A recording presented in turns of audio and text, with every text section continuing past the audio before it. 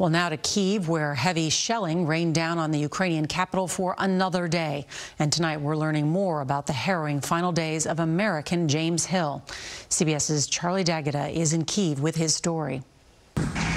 Like so many people in Chernihiv, James Hill found himself trapped inside one of the most brutal battlegrounds of the war. Known as Jimmy to his friends and family, the 67 year old Minnesota native was in the northern city to look after his partner, Ira, suffering from MS.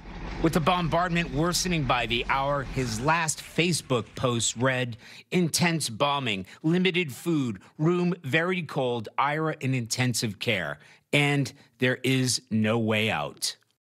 In Pittsburgh, Katya Hill said her brother thought of other people to the end. My brother was a peacemaker and he was a giver, and uh, he just felt everybody in the world should love each other, but still he was a helper. A helper who became one of thousands of innocent civilians to die.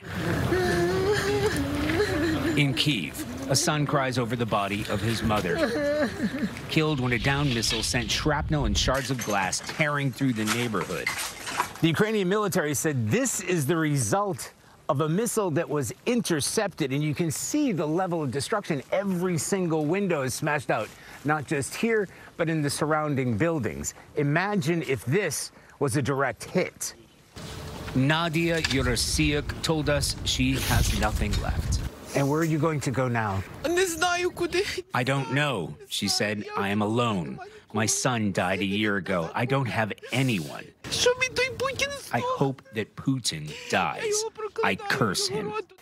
Nadia is not alone in her anger or fear. With Russian troops unable to make any significant ground progress toward the capital in recent days, they're increasingly turning to launching strikes into civilian areas with devastating and terrifying effect.